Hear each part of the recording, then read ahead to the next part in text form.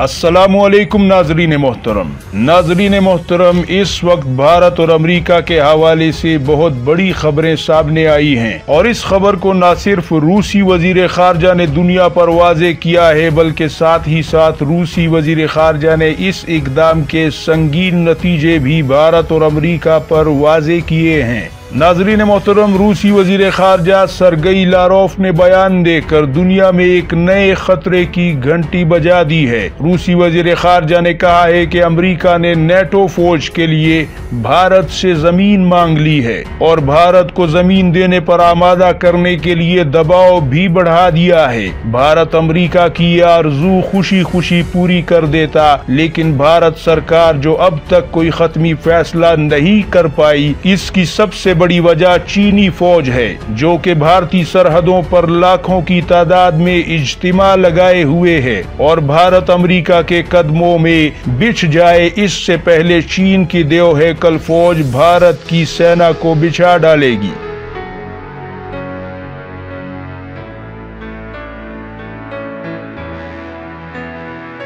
लेकिन अमेरिका के इस इकदाम के पीछे अंदर की कहानी कुछ अलग है। नाजरीन मोहतरम, आलमी मुबसरीन के मुताबिक अमरीका का भारत से नेटो फौज के लिए ज़मीन मांगने की मुख्तलिफ़ वजूहत बयान की गई हैं। जिनमें से एक वजह तो ये है कि अफ़गानिस्तान और पाकिस्तान ने अमरीका को जनूबी एशिया से जो बिस्तर गोल करके वापस भिजवा दिया था, लिहाजा इस अमरीकी फौजी इनखिला को दुनिया एक इबरतनाक शिकस्त से ताबी ताबीर कर रही थी और अभी तक कर रही है। जैसा कि सबका अमरीकी सदर डोनाल्ड ट्रंप ने भी इस इनखिला को तालिबान के सामने हथियार फेंकना करार दिया है। दूसरी वजह जो बयान की जा रही है, वो ये है कि अमरीका एक अरसे से भारत को अला शेरी देकर उसे चीन के सामने खड़ा करने का ज़ोर मार रहा था। लेकिन भारत के थिंक टैंक और मुख्तदर हल के आए रोज ये सवाल उठाते थे कि अमरीका अगर चीन का सामना करना चाह चाहता है या उसे कमज़ोर करना चाहता है तो वो खुद चीनी सरहदों के करीब किसी मुल्क में पड़ाव क्यों नहीं डालता? क्यों अपनी फौज चीन के करीब नहीं भेजता?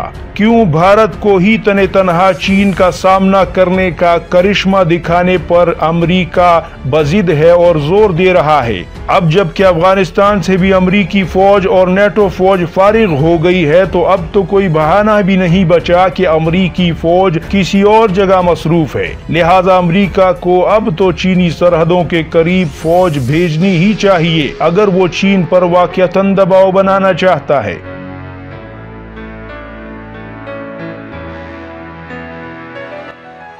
लेकिन भारत का ये ख्याल था कि अमेरिका ताइवान या किसी दूसरे चीनी पड़ोसी मुल्क से ज़मीन मांगेगा। लेकिन अमेरिका ने उल्टा भारत से ही ज़मीन मांगकर उसके औसान खता कर दिए हैं कि जनाब, हम और हमारी फौज अब हाजिर है, आप ज़मीन देने की हिम्मत करें। और अब भारत अपने ही सवाल में फंस गया है। अगर भारत ज़मीन नहीं देता तो अमेरिका भारत को बुजदिली का ताना देने के अलावा अपनी सपोर्ट पर भी नजरसानी करेगा। और अगर भारत ज़मीन दे देता है तो ऐसी सूरत में चीनी फौज भारत को नहीं बख्शेगी। बल्कि सिर्फ़ चीन ही नहीं, रूसी वज़ीर खारजा ने भी वाजे किया है कि एशिया में मजीद अमरीकी अड्डे बर्दाश्त नहीं करेंगे। भारत को सोच समझ कर फैसला करना होगा।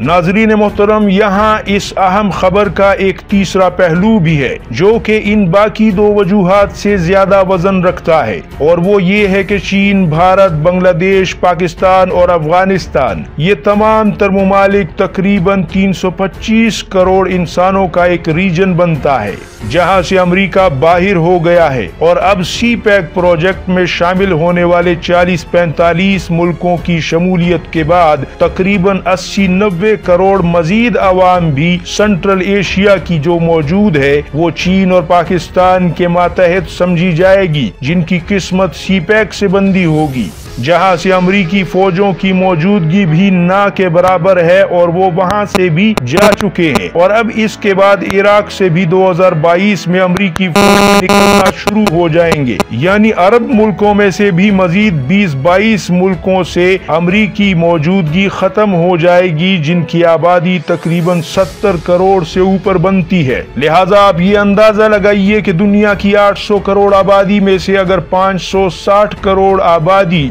दुनिया के दो सौ सत्तावन मुल्कों में से 150 के करीब मुल्कों में अमेरिका का कोई फौजी अड्डा और मौजूदगी ही खत्म हो जाएगी तो ऐसी सूरत में अमरीकी बालादस्ती और उसका रसूख और सुपर पावर का मसनद फिर चंद दिन का मेहमान ही रह जाएगा और तमाम खेल चीन के हाथ में आ जाएगा।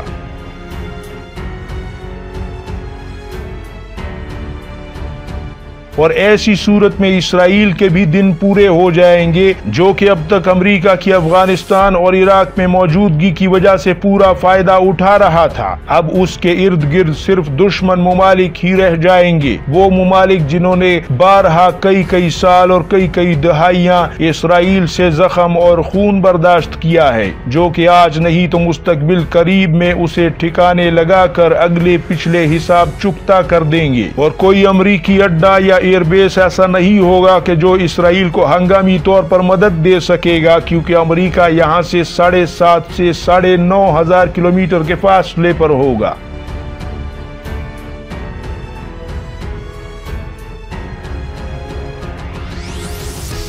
लिहाजा अब देखने की बात यह है कि आगे चलकर भारत क्या करता है, क्योंकि पाकिस्तान और चीन के साथ साथ अब रूस भी भारतीय फैसले के इंतज़ार में है। और ये तमाम तर ममालिक ये देखना चाहते हैं कि आया भारत एक बार फिर अमेरिका को चीन, पाकिस्तान या रूस के पड़ोस में किसी न किसी मुकाम पर जगह देने का रिस्क ले सकता है या नहीं ले सकता। यकीनन इस जुर्म की भारत को भयानक से भयानक सजा दी जाएगी। क्योंकि चीनी फौज ने भारतीय सेना को पहले ही अपनी सरहदों पर दबोचा हुआ है और उसकी सांस बंद की हुई है। और दूसरी तरफ़ पाकिस्तानी फौज भी अपनी पूरी फौजी ताकत के साथ भारत माता के सामने तलवारें नंगी करके खड़ी हुई है। लिहाजा भारत का नेटो फोर्स को ज़मीन देना गोया एक ऐसा गड़ा खोदना है जिसकी खुराक खुद भारतीय सेना ही बने बनेगी क्योंकि ये अमल एक तरफ़ पाकिस्तान तो दूसरी तरफ़ चीन को गजबनाक कर देगा। और तालिबान भी इसको नजरअंदाज नहीं करेंगे, किसी सूरत नहीं करेंगे। उम्मीद है आपको ये रिपोर्ट पसंद आई होगी। दुआओं में याद रखिएगा। अल्लाह हाफिज नासिर पाकिस्तान, जिंदाबाद।